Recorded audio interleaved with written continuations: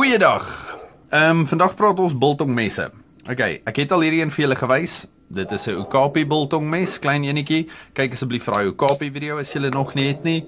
En hierso is my Honey Badger tong. OK, gemaak vir biltong.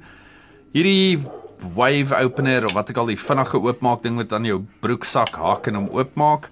Ehm um, hierdie kan ook gebruik word as 'n ek weet nie mes vir self-defense.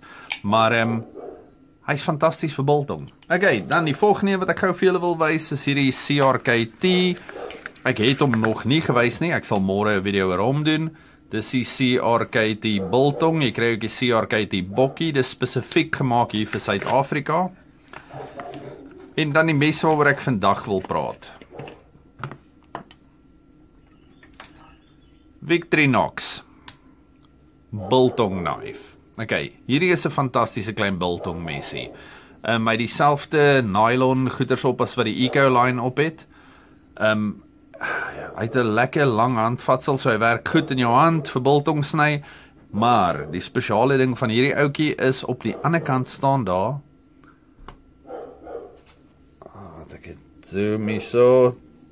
Tom van Vollenhoven. Okay. Die ouer ouens sal dalk weet wie dit was. Tom van Vollenhoven is een van ons rugby helde. OK. Nou, hierdie ding het ek by 'n uh, wat se pawn shop, swap shop gekry. Sniffel winkel. OK, en ek's terug. En nou na ek die groot hond doodgemaak het, nou is die klein hondjie besig om met iets te beklei buite. OK, ons was besig met Tom van Vollenhoven. As jy vir hierdie mooi dingetjie kyk, sê hy uh 15 van 50 Holdeblyk Tom van Vollenhoven 2003 en dan sa Suid-Afrika en Nieu-Seeland wapen op en dan sy handtekening. OK.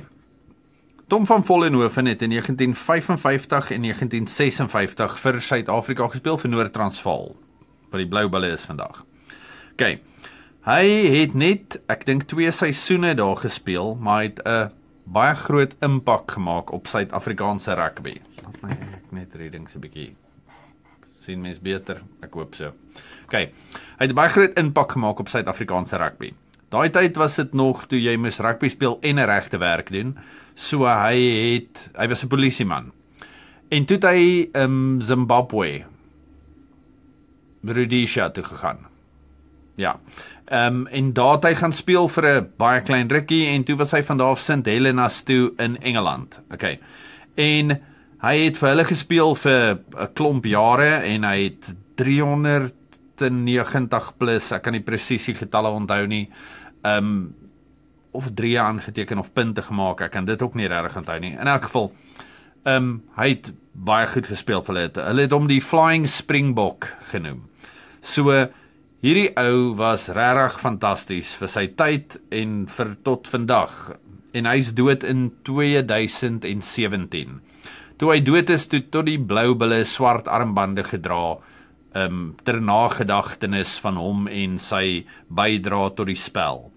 OK, so dis waaroor ek vandag wou praat.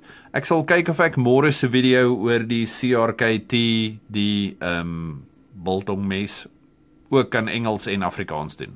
OK, as jy nog nie ge subscribe het nie, doen dit asseblief. Bly veilig, gelukkig en hê 'n fantastiese Vrydag.